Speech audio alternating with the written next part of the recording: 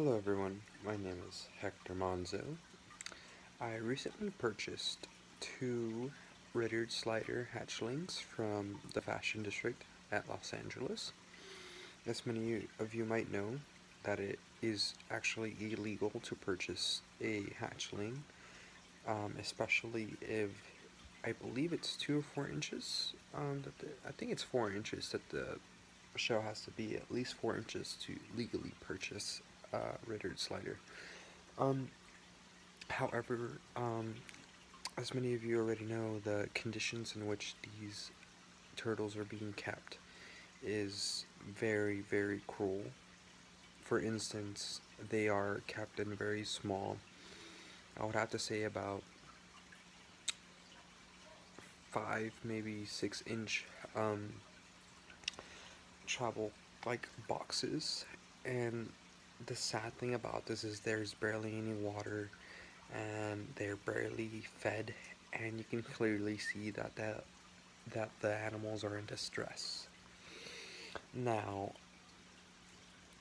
um, they did have a few um, pebbles that are mainly for like betta fish or goldfish that you would typically not want to put in a, in a um, in a confined space with a red-eared slider because red-eared sliders have a tendency of biting and sometimes ingesting some of these gravel rocks.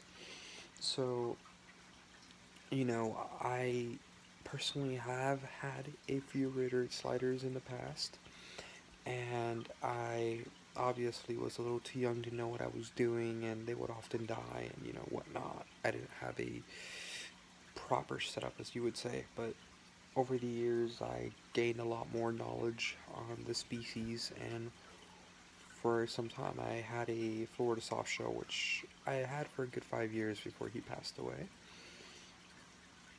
And, you know, I kind of stopped um, purchasing turtles afterwards, but actually, um, like I said, I was in the LA Fashion District and I saw these animals, and you know, I, I obviously felt like I needed to do something, and I know that a lot of people might judge me on this, but I did purchase two, and you know, I didn't have a very proper setup. I had maybe one area where they can climb on, and a small tarantula tank which I um, used for about a day or two, and you know, I felt like that wasn't right, so I actually went to Petco and I bought a Livingston um, aquarium setup, which is basically a Petco um, economic version of a cheaply made aquarium, but it came with a filter, a UV light, and it came with, um, I'm sorry, a big enough space for the hatchlings to move around in. And I went as far as to buy a heating lamp, not a heating lamp, my apologies, a water heater, which keeps the water at about 75 to 80 degrees Fahrenheit. I'm sorry. And I even went ahead and bought a um, thermometer, so I think I said that right, so that I can monitor the temperature within the water. And I went to Michael's, which is like surprisingly right next door, and I bought a, I bought a few bags worth of rocks, which I kept in there for decoration, and I went ahead and bought a few artificial plants. Now, the thing with this is you can either purchase actual plants or artificial plants. Now, the reason I chose artificial planting was because red-eared sliders tend to nibble on plants, and sometimes that isn't good for them. Now, I did buy a few areas for them to bask on because I don't I don't like the the ones they have there. I don't feel like they're natural enough. So, you know, they're great I don't have anything against them, but I um I want to show you guys what I did with my setup. And I also recommend you purchase, um, it's a blue liquid. I'm sorry, I have it right here. I'll get it in a second. And what that does is it eliminates any chlorine or any lingering nasties that you don't want your red-eared sliders to be exposed to, and at the same time adding calcium and electrolytes to the water source. Now, I did purchase baby pebbles for them, and I also purchased some snacks, so it includes a bit of worms and dried shrimp and some other small nutrients, but I do not recommend you to feed your red-eared sliders um, shrimp because shrimp is very tasty for them, but it offers no nutrients. And if you spoil your red-eared slider, they will get in the tendency of only wanting to eat dried shrimp, and that is not something you want to do. The same goes for romaine lettuce. Romaine lettuce is a wonderful snack for them, but it's not something that you want to generally be giving them. Now, red-eared sliders typically don't eat a lot of fruit in the wild, but on certain occasions you can offer them some banana. I heard banana is very tasty for them, and it's not very bad, but I wouldn't do it very often.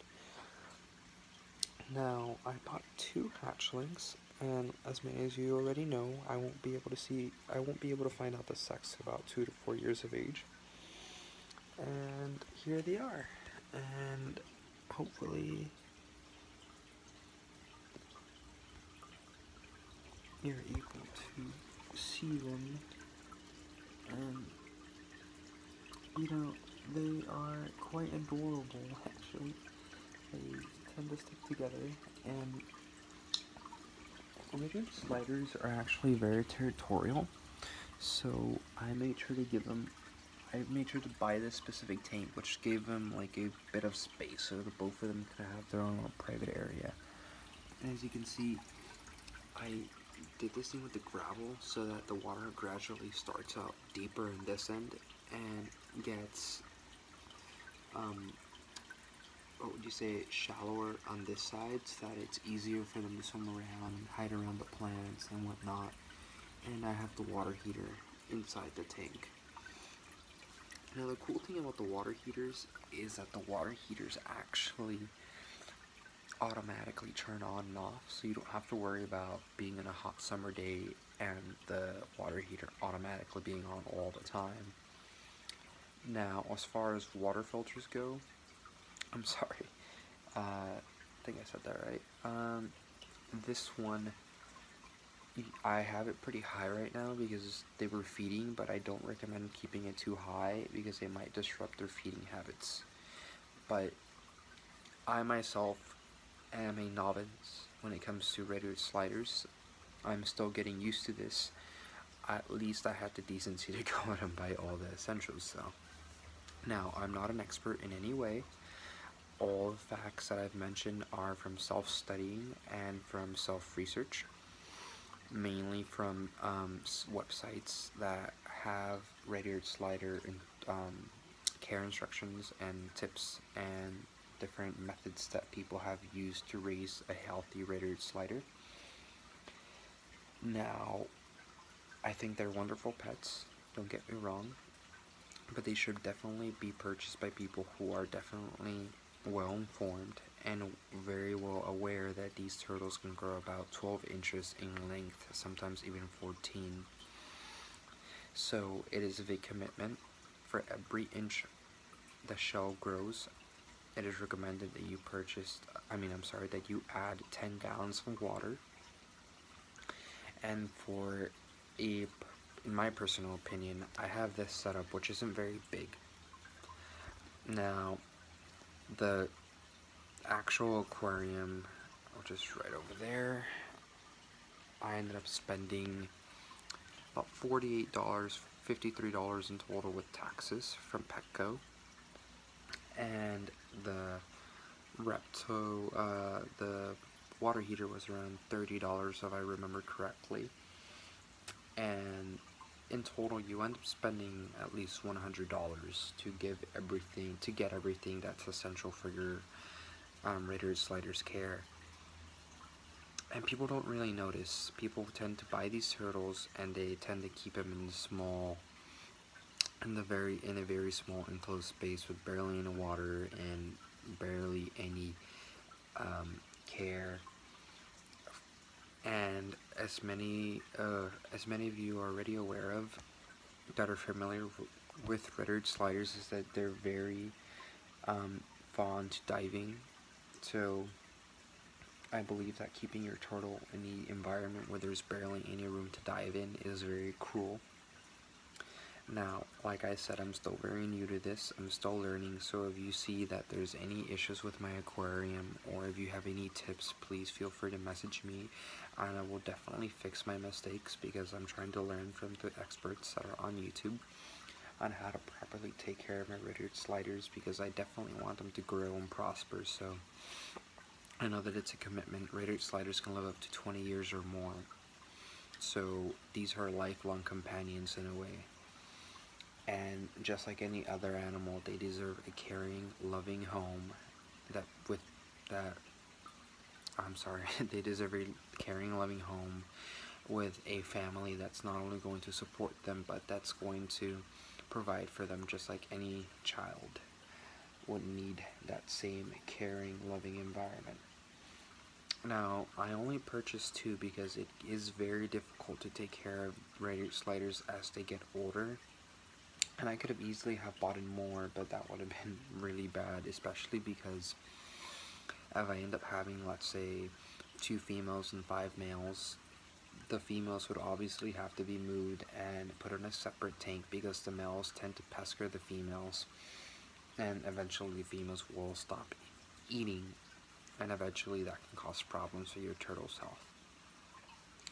Now females tend to produce eggs on the, they they tend to lay eggs but the eggs won't get like they don't hatch unless they're fertilized but as far as I can tell I don't have to worry about them for a while but as I mentioned before um, I want to know what's best for them and I'm definitely going to try and you know provide for them the best way the best that I can now as far as like keeping him by a window, as you can already see, I know that's bad. It can actually lead to pneumonia and whatnot. But this is only temporary until I get until I get paid in my next paycheck. Unfortunately, I get paid bi-weekly, so I have to put all this on a credit card. But as soon as I get the money, I'll buy a proper stand and relocate them probably in the bedroom that's far away from a window um, from a window so that I don't have to worry about them getting sick. Now another thing is that as far as babies go, um, they do require extra care. So just to make sure they weren't sick, I am going to purchase a calcium rock on Amazon. I'm going to keep in, um, using the drops in the water and I'm gonna keep on feeding them. I feed them only two to three times a day and I feed them as much as they can handle. They're still not feeding, they're, I'm sorry, they're still not eating as much as they should because they're still new. They're still getting used to their environment, and I have moved them into two different, three different um, aquatic um, environments since I've purchased them, obviously, in that little, um, that little excuse of a home that they were purchased in, and then later on into my temporary tarantula uh, setup and then eventually into this all within three days of purchasing them. And now I want to make them happy and provide an excellent safe environment. So like I said thank you for watching my video and please correct me on any misinf misinformed information that I might have provided. My name is Hector and it's a pleasure to hear from you all and I will keep updating you guys on the progress of my hatchlings. And I will keep um, uploading videos possibly bi-weekly or whatnot on the progress of their health and their habits and whatnot. So thank you guys. I appreciate it. I hope you guys have a wonderful night. Oh. Never mind